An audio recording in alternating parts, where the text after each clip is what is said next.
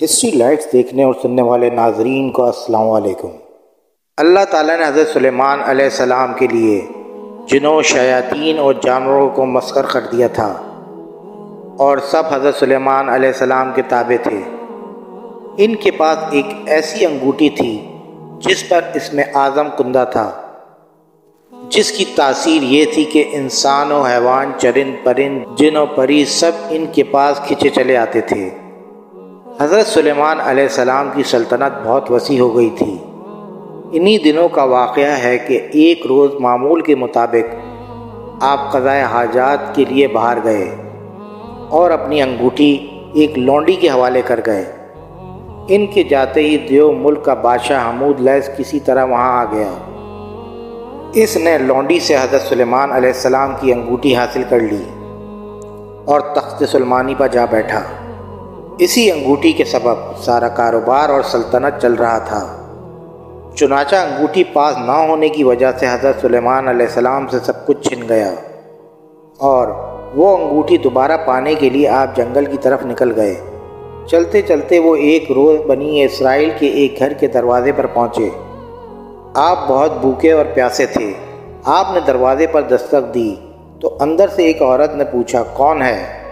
हज़रत सुलेमान सलाम ने जवाब दिया, मैं हूँ। जिसकी दावत करना तुम पर लाजिम है। औरत ने जवाब दिया, मेरा शोहर घर से बाहर है। इसकी गैर मौजूदगी में किसी गैर महरम की दावत नहीं कर सकती।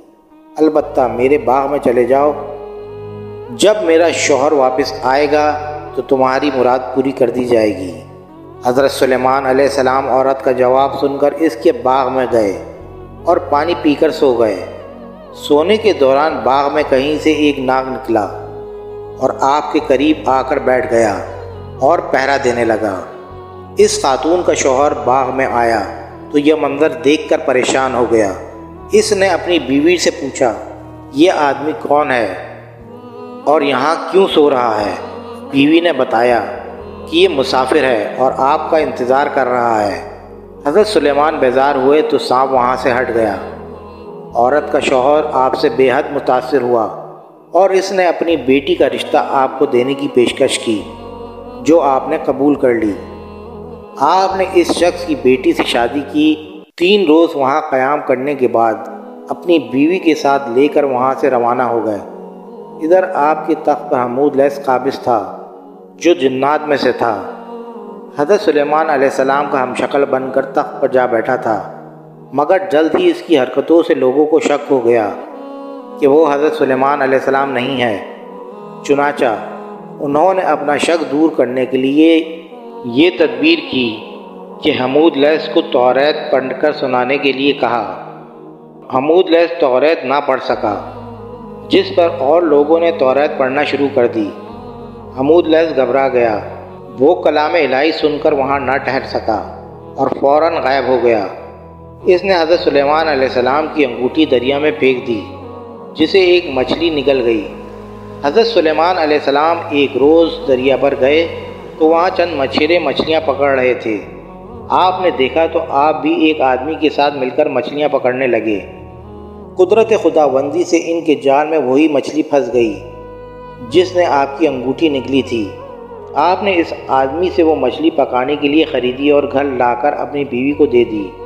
बीवी से फरमाया कि इस मछली को आज शाम पका लेना। आपको बिल्कुल मालूम न था कि वह अंगूठी किस मछली के पेट में है। जब आपकी बीवी ने मछली का पेट चाक किया तो इसमें से वही अंगूठी बरामद हुई। बीवी ने अंगूठी आपको दिखाई तो आपने अंगूठी को फ़ौर पहचान लिया और उसे अपनी उंगली में पहन लिया।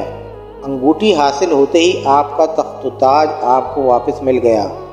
आपने इसे अल्लाह ताला का एक इम्तिहान समझा, जिसमें आप पूरे उतरे और पहले की तरह आप हुकूमत करने लगे।